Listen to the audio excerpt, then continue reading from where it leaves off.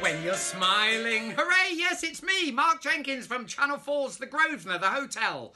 I'm sure everyone in the Bay knows who I am, and you certainly haven't forgotten him. Mount your dolphins. Unbelievable.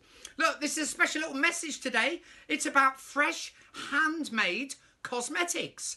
And it does what it says on the tin. It's a fabulous little store inside Torquay uh, Market, in Market Street. Um, get yourself along there. They've got a fabulous range of all sort of what it says fresh handmade cosmetics um, soaps and bath bombs they're all sls free. They're great for people you know if you've got like sensitive skin and luxury handmade soaps they do skincare solid shampoos um, they've got a new website freshinthebay.co.uk they've sent me some samples which is amazing.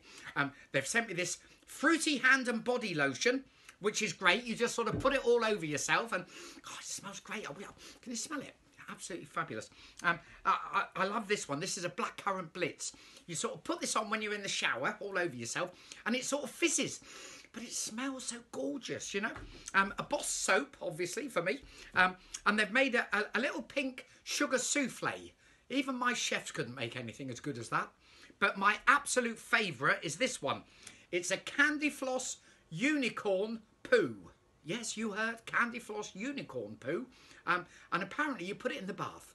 But the good news is it doesn't float, it sinks because it's a bath bomb. Unbelievable. But again, it smells absolutely gorgeous. So look, get yourself down to Fresh Handmade Cosmetics in Torquay Market or go on the website freshinthebay.co.uk and it'll be fabulous fresh handmade cosmetics for everyone. Hooray!